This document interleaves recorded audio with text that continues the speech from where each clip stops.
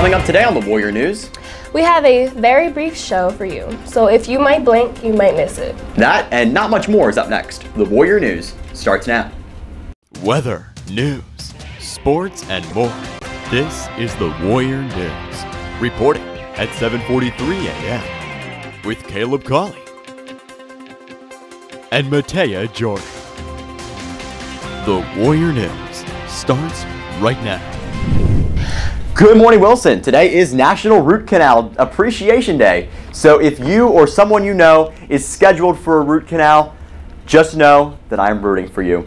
LOL. Thanks, Ryan Grell, for that. Today is also Wednesday, May 11, 2016, with only 21 days left of school. I'm Caleb Colley. And I'm Matea Jordan.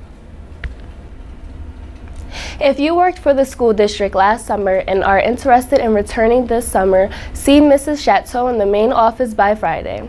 If you would like to apply for a summer job, submit your application by Friday. Band members are reminded that senior bioforms, marching band leadership applications, and 2017 trip forms are due ASAP to Mr. Friedhoff. A collection box for all sports banquet is in the main office. Please get your payments in soon because seating is limited. It is quite limited, so make sure you get that. Attention seniors, the senior class trip to Pocono Valley Resort will be Thursday, May 31st. A signed permission slip along with $15 must be turned into Mr. Fowler by Friday, May 13th. That is this Friday, the 13th, in order to attend. No money will be accepted during the school day, so plan on coming in before or after school. And attention current drama club and tech crew students if you're interested in viewing the Freddy Award nominations live on 69 News at noon, my people.